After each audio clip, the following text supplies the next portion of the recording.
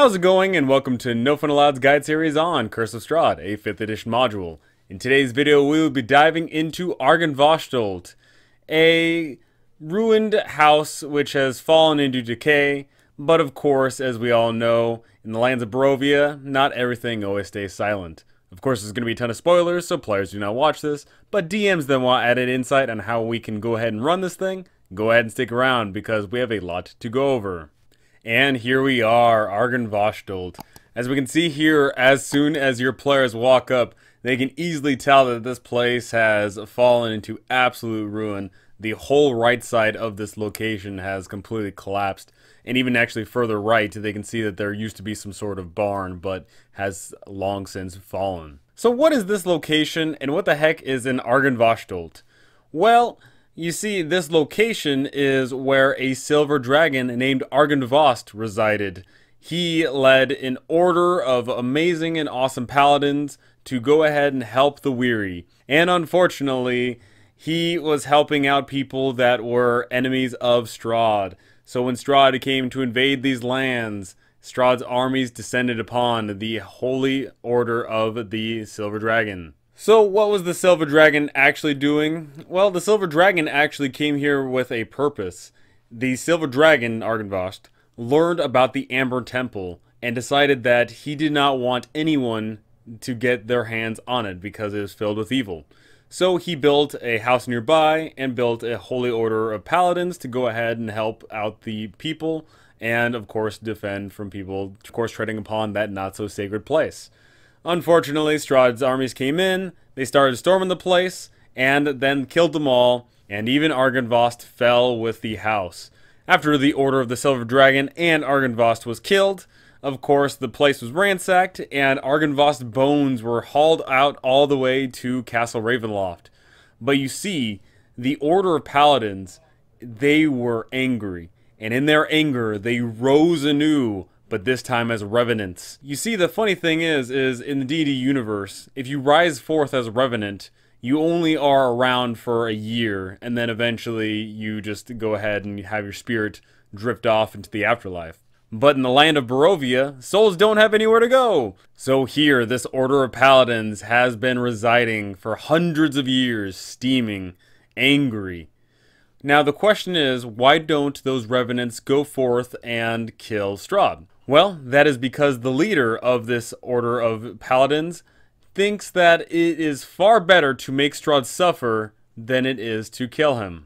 It is here in the Order of the Silver Dragon that we get some good info here that Vladimir, the leader of the Order of the Silver Dragon here, actually had all of his troops storm the castle, but when they arrived, they got told that Strahd was already dead, and at which point they said, eh, alright, let's go back.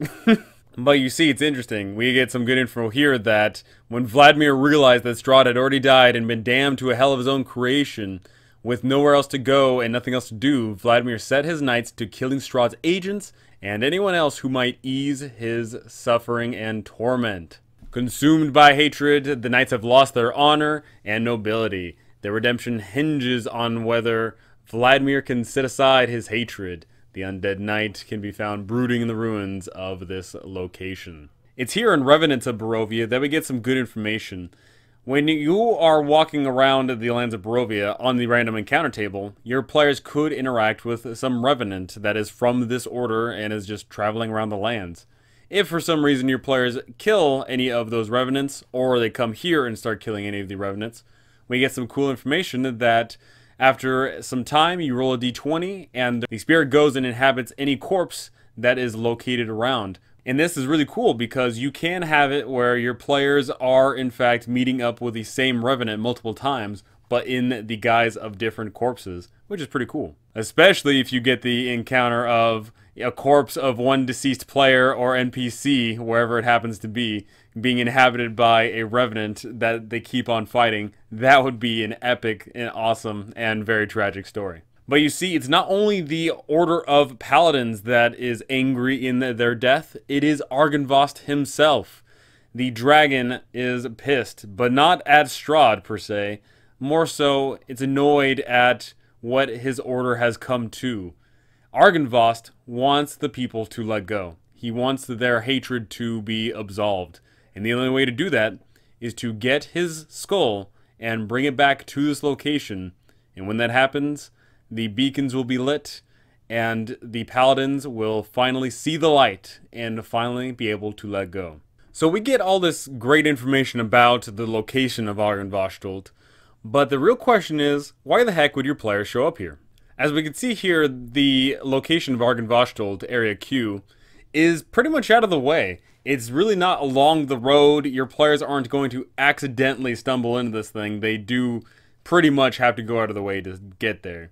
So how do we get our players to Argynvostholt? And more importantly, why do we get our players to Argynvostholt? Well, the why is pretty easy. If you have any reading that directs them to Argynvostholt, whether that be one of the items is located here, or they have an ally in here in a one Sir Godfrey Gwilym, then you're going to need to find a way to go ahead and say, hey, it's located right here. But even if you don't have a card reading that leads you to Argynvostholt, there's still plenty of reason to have your players show up here. There's some interesting characters here, and there's some great history to be learned. Now, how do we get our players to show up to Argynvostholt? Well, the first answer is because your players are adventurers, and they get told that there was an order of paladins that used to live in these lands somewhere, but they've long since grown silent. And you go ahead and say, hey, it's located on the road here. You go ahead and head down south a little bit on the road, and you can't miss it. And if you've got adventurous players, then they'll go ahead and do it because that sounds pretty awesome. But if your players need an actual story hook or something tangible to go ahead and drag them places, you could perhaps say that some people went missing on the road and perhaps they went ahead and stayed there to go ahead and try and escape from the elements that is a pretty easy sell because if you have a group of villagers that is leaving Vallaki for any reason and trying to make their way over to the Wizard of Wines or to Krezk, then perhaps they went ahead and stumbled across here. If your players went to the Vistani camp outside of Vallaki and met with the Dusk Elves, perhaps the Dusk Elves direct you over to Argynvostholt because one of their own members is missing maybe if you want to really get them there but not have any real story hook you could go ahead and say that at the intersection right there there is a sign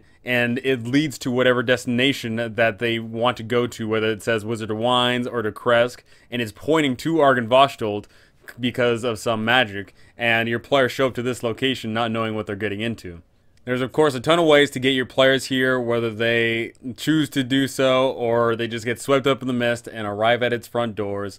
But what do they see when they finally arrive? Well, the thing that's really going to stick out here is that they see a multi-story mansion here, and also a amazing dragon statue located outside. This dragon statue looks pretty epic, so when your players go ahead and show up here, you should go ahead and show them this art. And if you have super duper nerds, they might be able to tell immediately that it is a silver dragon. But if they don't know what type of dragon is, then you can go ahead and make them make a perhaps a DC 15 nature check or history check to go ahead and figure out which kind of dragon it is. This statue isn't just only a statue though. If it is scrutinized with a detect magic spell, they can see that it radiates out an aura of evocation magic. This thing at one point used to shoot out a cone of cold, but of course the magic is long since faded away. Something important to note before we start stepping into this location is the fact that this grid is not what it appears to be, of course. These are 10 foot squares, so it's kind of a big deal.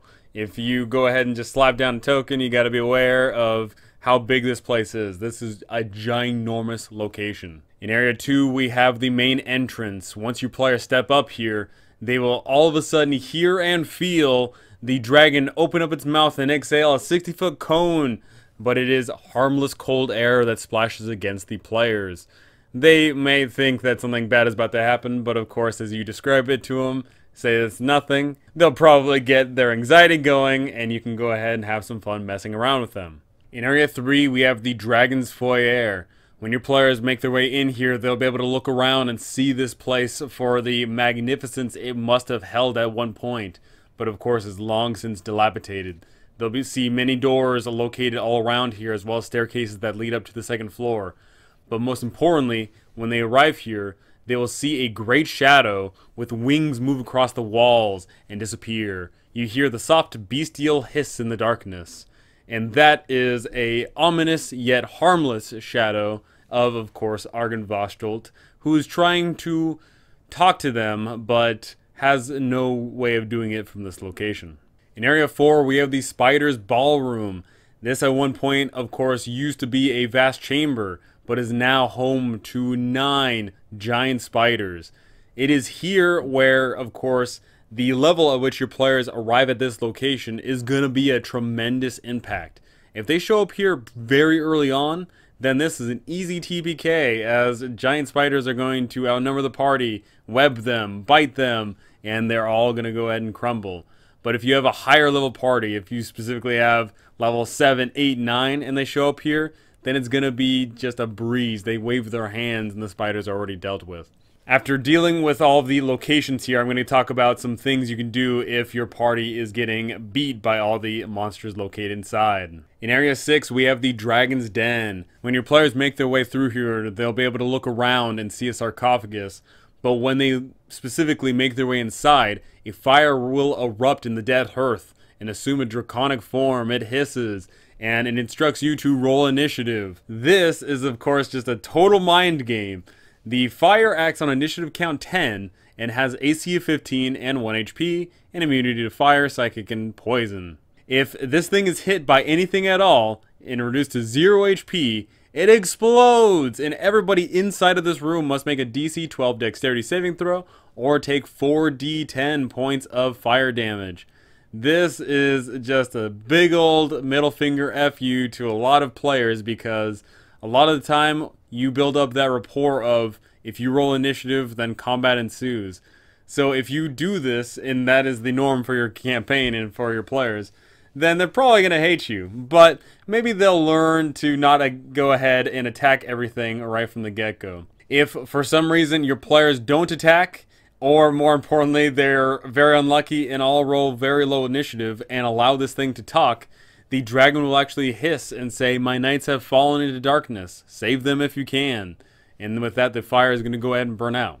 This is a really touching moment, but like I said, maybe depending on the group that you have, maybe just go ahead and skip the initiative entirely and just have this thing pop up because I'm willing to bet that a lot of groups, when they hear initiative rolled, they get into a shoot first mentality. In Area 7, the parlor, nothing really too much going on. Of course, this place is absolutely ruinous, and we'll see that it is a very common motif in a lot of the rooms located in this place. It actually gets a tremendous amount of text that you show off to your players and tell, but then for the actual what is located inside, we get a single sentence.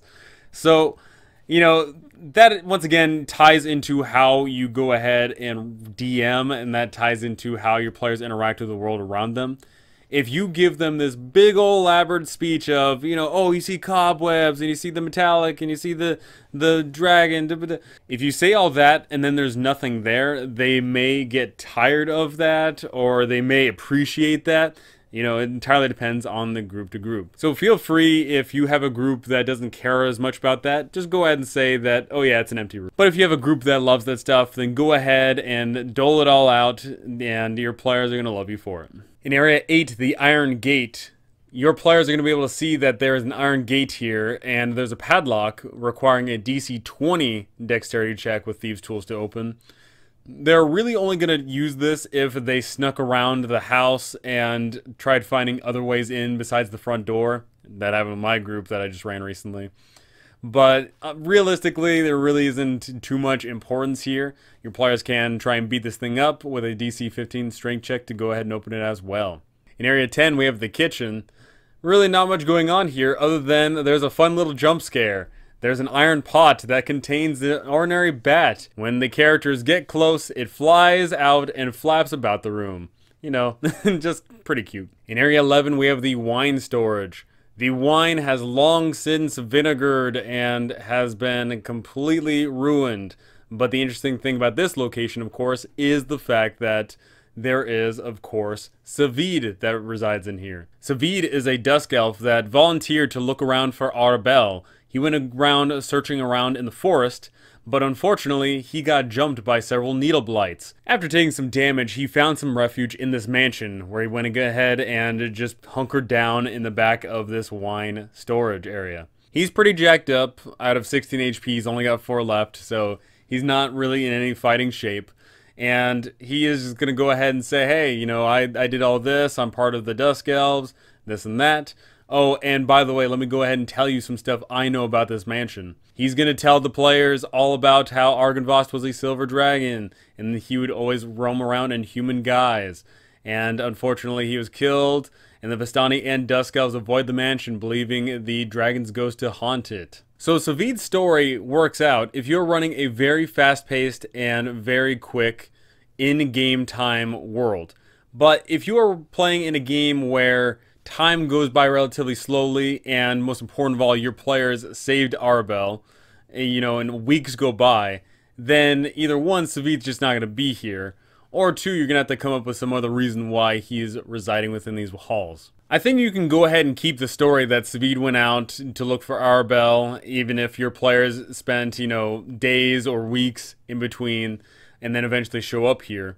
But why hasn't Savid left, and why is he still injured? Well, perhaps you can say that there is a direwolf that Savid got into a run-in with, and this direwolf is literally circling around this location, waiting for Savid to step out.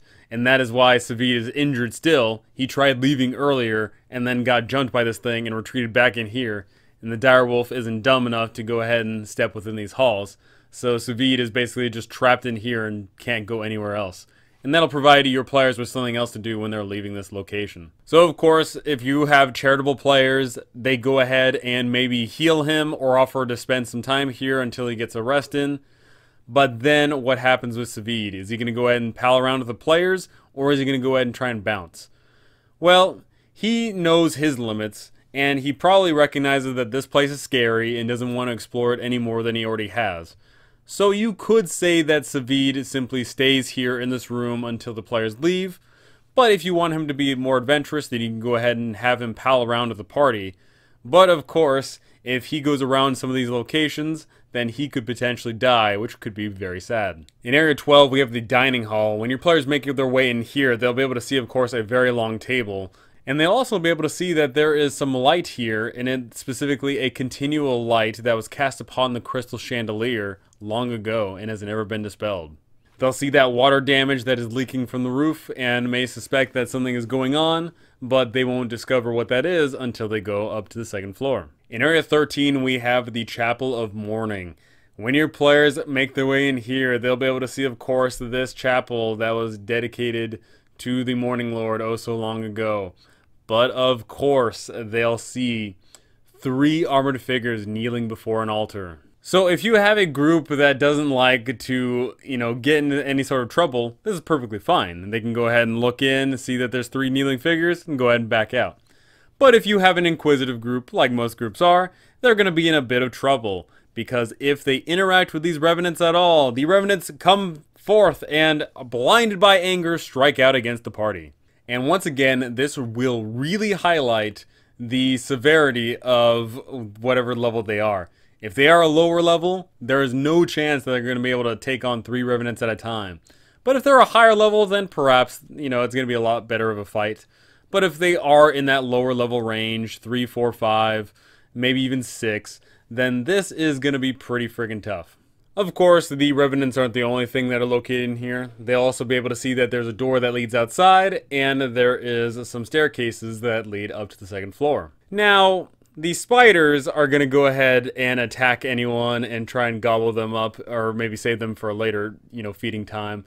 But as we get here, the revenants basically state that they attack with the characters seeking to drive them out of Argon Argynvostholt. So, if you go ahead and have them attack as is, then there is a pretty decent chance that someone could potentially die. What I would go ahead and say is you have these revenants clearly exclaim, get out, or we're going to kill you. And if you are that transparent, then your players are going to know what's up. And if they press any further, then go ahead and let them have it. But if they heed this warning and back off, then the Revenants resume their post and go ahead and start kneeling and praying. Once again, I'll be talking about some fun things we can do if your players get wiped around here, because my oh my, is that a certain possibility. In Area 15, we have the cemetery. When your players are meandering about through here in this fog-filled cemetery, they will actually begin to discover that several of these places are dug up. But with a perception check, they can reveal that these things were not dug up from above. Someone crawled out from below. In Area 16, we have the Dragon's Mausoleum. If your players are able to make their way in here by pulling this thing open with a DC 15 strength check, they can discover that this mausoleum has been pretty much untouched. And if they make their way in here, they can see that written in Draconic is here lie the bones and treasures of Argynvost, Lord of Argynvost and founder of the Order of the Silver Dragon. Of course, they come in here, and the place is pretty empty. This is the location that Argynvost's skull must be returned to in order for the beacon to be lit and for the paladins to be saved. Skipping over the boring locations, we get to Area 20, the South Alcove. When your players arrive in here, they'll be able to see that there is velvet curtains that hang in the alcoves. And if your players peel them back, they can discover that there is something atop a white marble pedestal. Beneath the black cloth is the severed head of a randomly determined character, an illusion created by Strahd's consciousness. So once again, just more fun little jump scares that you can go ahead and peep out to the players. If they arrived here and they haven't fought anything yet, and it's only been jump scares, then it's gonna eventually get on them. You know, they're gonna be thinking to themselves, "Oh, all these jump scares, you're gonna jump us with something." But if they already fought something here, then having the fights intermixed with all the jump scares is certainly going to be interesting. They're probably going to get a little bit antsy and may start doing some reckless things. In Area 21, the North Alcove, there's nothing behind the curtain here, but what's interesting is, is if the characters part the curtain and leave, when they return, the curtain is drawn back.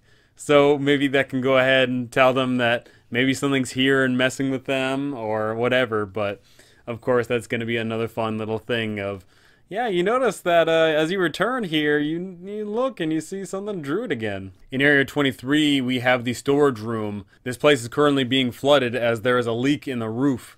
This room has been thoroughly looted, and the wooden floor is soft and spongy, and it can't support more than 100 pounds. If someone more than 100 pounds steps forth here, they fall 20 feet and take 2d6 points of bludgeoning damage as they fall into Area 12, which is the dining room. In Area 25, we have the Trapped Hallway. This one is a bit of a doozy. When your players make their way down to this location, they can look left and right and see that there's several doors. So your players may go ahead and start going around. But once any character hits the threshold of any of these traps, that is when the trap springs. A wall of stone is going to shoot up where this red line is basically locking them into this hallway. At the same time, all of the Phantom Warriors that are located around here are going to begin pouring into the hallway. This is really bad. If you have a group that is traditionally all about having a front line that protects the back line, then this may prove a bit of a trouble. Because, of course, if they're trapped in this hallway and they're getting hit from both sides, then they may not have enough places to cover. The wall of stone isn't going anywhere either. It vanishes only after 10 minutes, which is more than enough for a combat to last. So if your players get into a fight here, they got to deal with three Phantom Warriors coming from the left and four coming from the right. So hopefully your players are packing something good, and hopefully they are lined up right, and also hopefully, importantly, they don't get split up. If you have some players that are on the inside of the place and are part of the fight, then that's good. But if you have some people that are sticking back purposely and the wall of stone raises up, there really isn't too much they can do. There is no actual way to get to this location other than some tremendous means, such as, you know, I guess scaling the walls outside and breaking through one of the windows. That's pretty much the only way your players are going to make their way through here.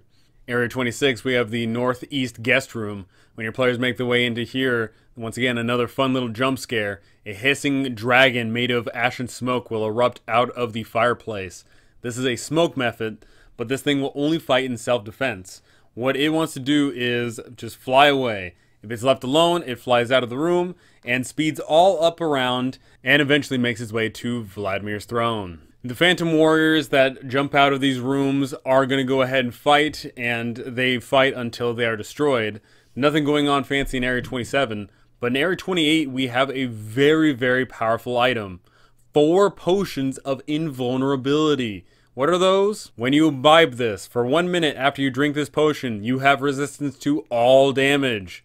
That is incredibly powerful. If you give this to your players, they're probably going to be holding on to this forever and all the time until the final boss fight, which is perfectly fine. But of course, if the final boss fight is Strahd, Strahd might see them drink this potion and decide to run off, but we're going to be getting into all of that in a much, much later video. Going up the stairs, going over some rubble, your players will be able to find Area 36, the Dragon Audience's Hall.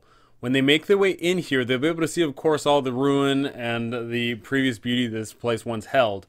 But most importantly, they'll be able to see Vladimir Horngard. He is sitting on his throne. If the characters approach him, he's going to immediately say, go away, and if they don't immediately leave, you get some really cool exposition that he goes ahead and says to the party if they haven't already picked up on it. And also, even if they do already know what it is, then it coming from this guy's lips is going to be certainly more impactful.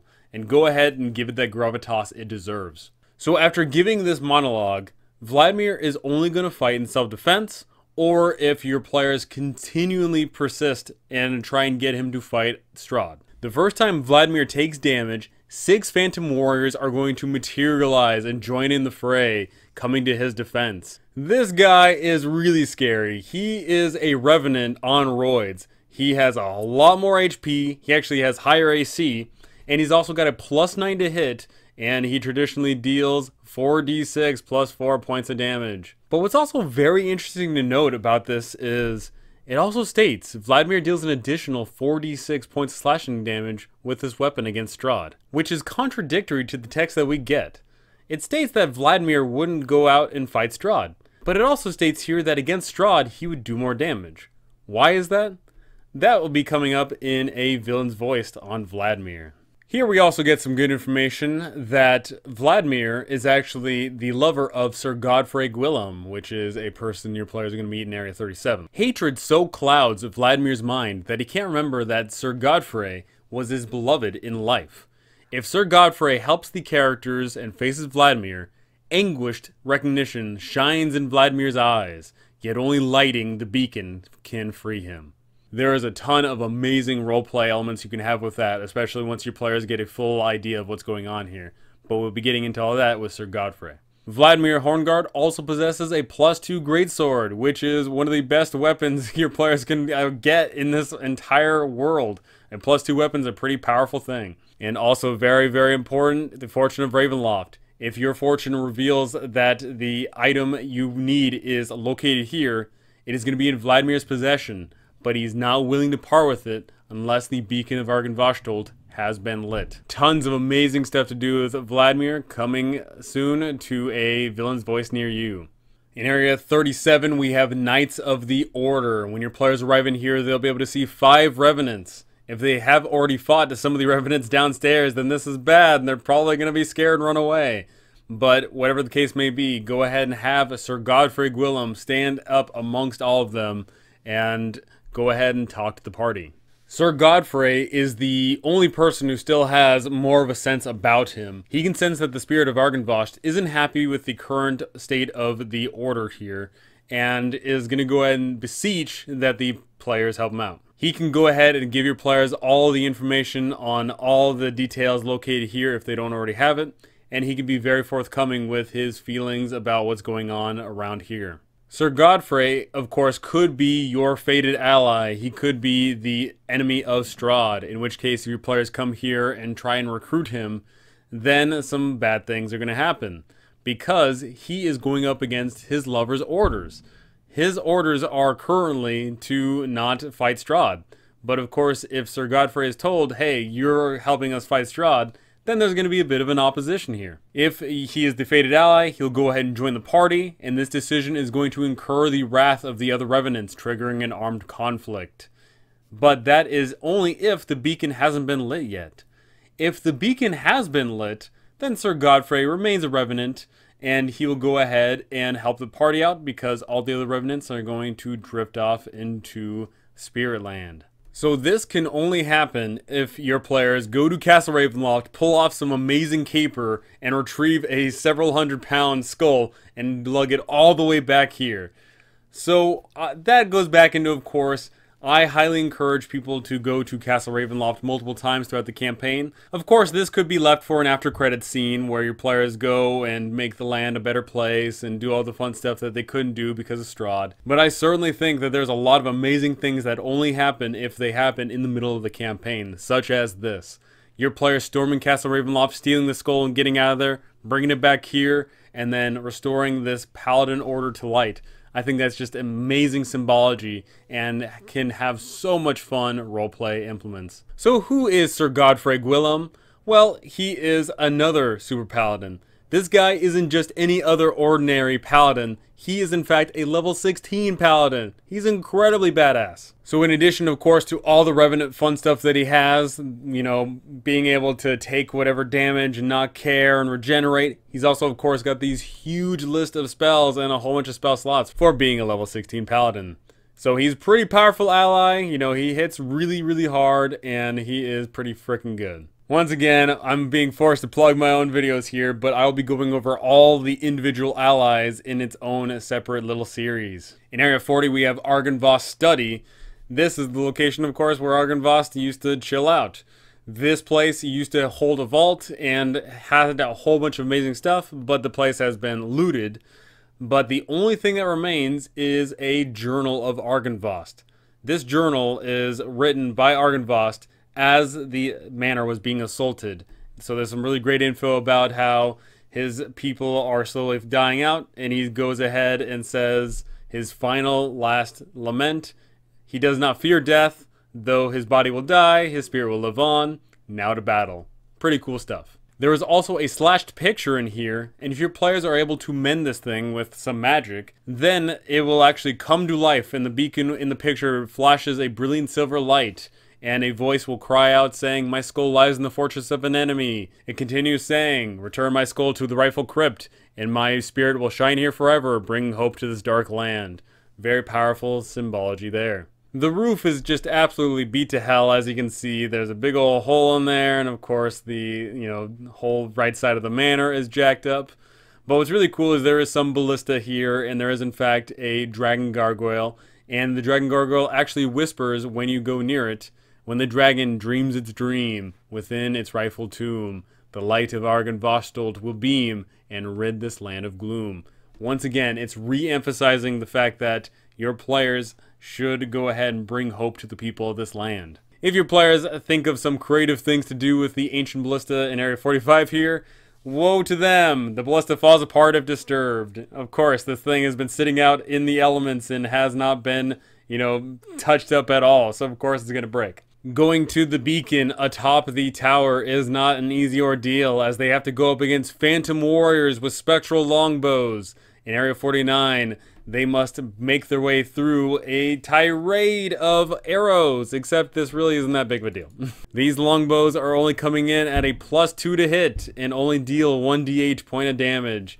Not really that scary. They do make two attacks each turn, which you know, if they both attack, then there is a good enough chance that at least one of them hits. But even when they do hit, it's not going to be doing that much damage. So realistically, if your players are a higher level, I'd probably just go ahead and just throw this out the window. It seems like a waste of time to me. In Area 51, as they climb the beacon landing, there is a potential chance that they could go ahead and fall into rubble. A creature that falls on the section here must make a DC 15 dexterity saving throw or fall 20 feet below into Area 50. The collapse of this section creates a 10 foot gap in the landing. So really, once again, just, you know, more delaying tactics for not really that much, really. In Area 53, the Beacon of Argynvostholt, after going through the entire location here and going over all the traps and all the undead, they finally arrive at the beacon and it's here where they can look out and see the world all around. They can see so much. And of course, if the beacon is lit, meaning that they return the skull of Argynvost to its crypt, then a light will be shining forth from this location.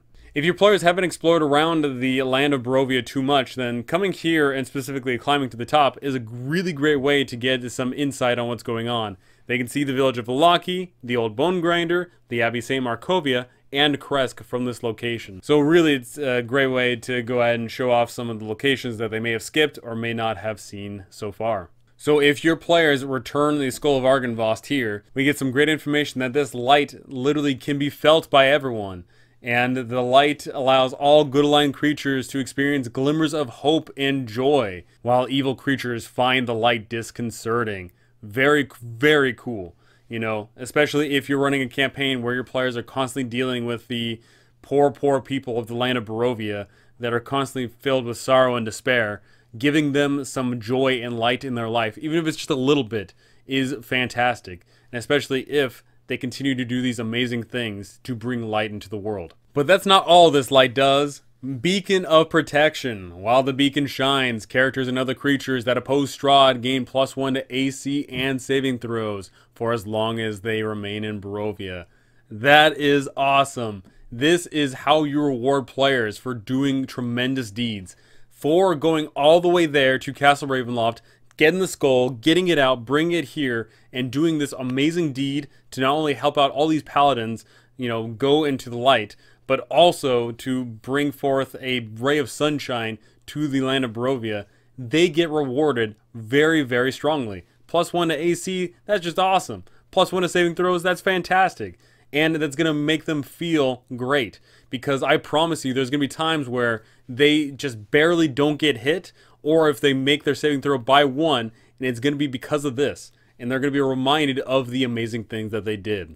And now, of course, with the beacon lit, the revenants will be at rest. Vladimir and all the other revenants that haunt Barovia see the light and remember the good, noble things they did as knights. And they are going to go ahead and release their hatred and they're all going to go ahead and go into another place. Of course, if your players have Sir Godfrey Gwilym at their party, then he is not going to go ahead and join them just yet. He knows that he needs to help out the party and defeat Strahd before he can go ahead and join his fallen order. And Fortune's Ravenloft, if your card reading reveals that the treasure is here, it's resting on the west windowsill. Pretty cool. So this chapter, we get some really great information on the Paladin Order here, and we get this big old mansion. And of course, we get some special events. So let's go ahead and take a look at those, shall we? The first special event is Special Delivery. This encounter occurs while your players are inside Argynvostholt. You can go ahead and just run this whenever. Because this place is deathly silent, they'll easily be able to hear the crunch of wagon wheels on gravel coming up to this location. If they go ahead and look outside, they can see that there is a cart being pulled by a draft horse, and of course being driven by a mad Vistani named Kolya. After relieving himself on the statue, Kolya untethers the horse and rides back to the Vistani camp outside of Vallaki, leaving the cart and its cargo, a plain wooden coffin. Of course, your players are probably going to be curious about what this is because it's no coincidence that a Vistani just shows up, drops off a coffin, and then just makes it out of here. So your players are probably going to be curious. This coffin has the name of one of the PCs, determined randomly, neatly chiseled into the lid. If this coffin is open, a swarm of bats flies out and begins attacking whoever is the named character. But if the character is not in sight, the swarm flies away. You know, this is just a little cute, you know, gotcha moment from Strahd, you know.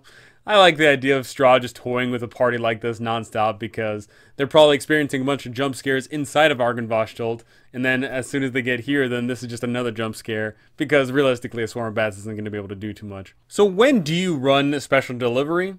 Well, I would suggest that you go ahead and do it when your players have explored enough of Argynvostholt, but of course, at least have explored a little bit because you don't want to have this where they're still outside you want this Vistani to get away because you don't want your players asking him any questions. So I would say maybe if your players are on the second or third floor, they can hear this and they can look out a window and see. And if they start yelling out to the Vistani, Kolya is just going to go ahead and ignore them, hop on the horse, and get away. So make sure that Kolya doesn't have to answer because then he's probably going to have to say, you know, oh yeah, Strahd made me do this, da da da. And you're going to have to come up with that story on your own. The second special event we have here is Arrigal's Hunt. Esmeralda arrives at Argynvostholt on the back of a riding horse stolen from the Vistani camp.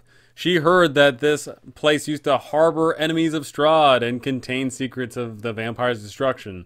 So she's making her way here, but the problem was is that she is being followed by Arrigal. Not only is Arrigal arriving on horse, he's also got two Vistani alongside him, but these Vistani are actually riding direwolves. Pretty scary. Arrigal is determined to capture Esmeralda and haul her back to the Vistani camp to face the punishment for horse theft. He does nothing to antagonize the characters, however, and returns to the Vistani camp if he can't convince them to give up Esmeralda. So there's definitely a lot of ways you can go ahead and run this. If you have Esmeralda show up here and immediately make her way into the house, then maybe Arrigal goes ahead and stands outside like it's a western and you know demands that Esmeralda be thrown out and maybe your players do do this or maybe they don't in which case you know things will ensue. This event is really determined based on your players' rapport with Arrigal and Esmeralda. Do they know who Esmeralda is? Do they know who Arrigal is? Do they really have a good relationship with the Vistani? You know, it's really going to depend. Your players may have already met Esmeralda multiple times, in which case they'll go ahead and say, yeah, screw you, we're not going to give up Esmeralda. But maybe your players got on the bad side of Esmeralda, and then Esmeralda says, oh shoot, and then she's caught between a rock and a hard place. Of course, if either one of these individuals is the fated ally, that will definitely pretty much determine which side they are on. If they have Arrigal as the fated ally, then they're probably going to go ahead and say, yeah, let's go ahead and have Arrigal, you know, let's give Esmeralda up. And if they have Esmeralda as the fated ally, they're going to definitely stand their ground and say, no, screw you. Arrigal is not going to press in, though. He's not going to go ahead and tackle the whole party. He's just going to go ahead and head back to the camp, and he'll maybe go ahead and strike at the party at a later time. So as I mentioned before, with the spiders and the revenants and whatever else shows up in this location, there is a pretty good possibility that a lower level party is going to get whacked because you have a level 3 party go up against 9 spiders, they're probably going to get overwhelmed. You have a level 4 party go up against 3 revenants, they're probably going to get overwhelmed. So what do you do if you're going ahead and running this as is and you don't want to fudge the numbers? Well, you go ahead and have Sir Godfrey Gwilym step in. These spiders are a very easy sell. Spiders don't natively kill people. In fact, it says right there on their character sheet that their poison is specifically designed to only paralyze people. So this is very easy. You know, spiders in the real world don't kill things immediately, not these kind of spiders anyway. What they do is they paralyze people and then hang them up and then save them for a later time. So if your party gets TPK'd by spiders, then all of a sudden they find themselves waking up sometime later and standing above them is an undead paladin who beseeches to go ahead and help out his order. If your party gets into a tussle with some revenants, then pretty much the same thing occurs, except for uh, the revenants would try and kill them. So if the battle is about to turn and someone is about to die, then Sir Godfrey Gwilym is going to go ahead and step up and lock blades with whoever is about to deal the finishing blow and say, hey, you guys back off, I'll go deal with them. And then Sir Godfrey Gwilym is going to go ahead and grab up the party, take them elsewhere, and he's going to say, hey, sorry about that. You know, these guys are blinded by hatred, but you can go ahead and help me out. The Phantom Warrior fight, this is a little bit harder because your player is a little bit trapped here. So if you are not wanting a TPK here, but it looks like it's going to be a TPK, then perhaps Sir Godfrey Gwilym goes ahead and smashes through a window, starts grabbing people, and starts yeeting them out, and, you know, making sure that they don't die. That could be pretty epic. You know, that would certainly be a way to introduce a character. And just like that, that is all the locations of Argynvostholt. Pretty amazing place but realistically doesn't have any impact on the campaign if you don't want it to be.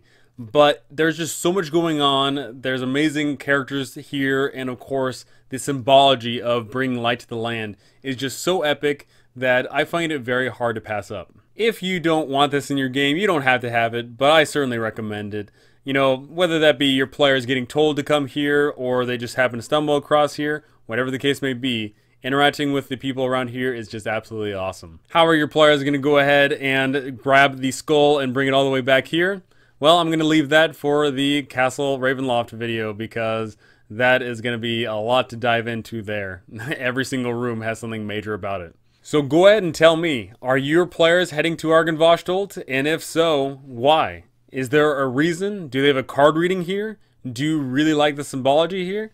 Maybe you're going to start expanding some things. Maybe instead of all the paladins crumbling to dust when you light the beacon, perhaps they go ahead and stand resolute and storm Castle Ravenloft one last time. That could be an epic conclusion to this campaign. Do you imagine your players are going to go ahead and tackle this place head first, diving into combat nonstop? Or are they going to go ahead and look around and be all sneaky and stealthy, and if they see any sort of danger, they're going to run away? I want to know these things because I know I've got a mixed bag of players whenever I run this module.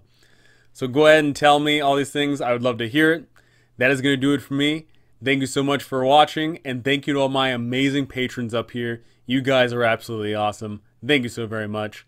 That is going to do it for me. Thank you so much for listening, and I cannot wait to see you all in the next one.